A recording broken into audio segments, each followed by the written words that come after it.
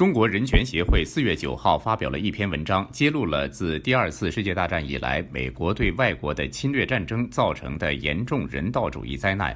文章标题为《美国对外国发动的战争造成的严重人道主义灾难》。文章指出，从第二次世界大战结束至二零零一年，美国共发生了二百四十八场武装冲突，发生在世界的一百五十三个地区。除了直接参与战争之外，美国还通过支持代理战争、煽动反政府叛乱、暗杀、提供武器和弹药以及训练反政府武装来干预其他国家的事务，这已经造成了严重后果。文章表示，这损害了有关国家的社会稳定和公共安全。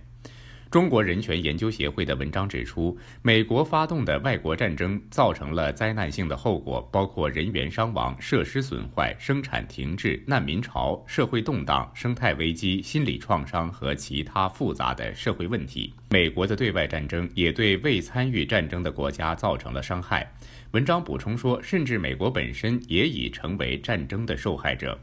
对美国发动的多次侵略战争的回顾表明，许多军事行动已导致人道主义危机。在战争仍在继续的阿富汗、伊拉克、叙利亚和其他国家，意外爆炸和伤害仍然经常发生，难民无处可住。文章表示，这些国家的基础设施严重受损，其国民生产停滞不前。同时，军事行动引起的人道主义危机源于美国的霸权心态，期望一个霸权国家捍卫其他国家的人权是荒谬的。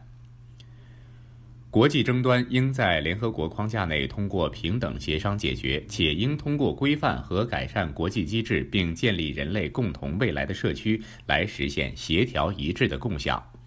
只有在美国出于自身利益而放弃霸权思想的情况下，才能避免人道主义灾难。只有这样，才能实现互惠互利，世界各国人民才能享有人权。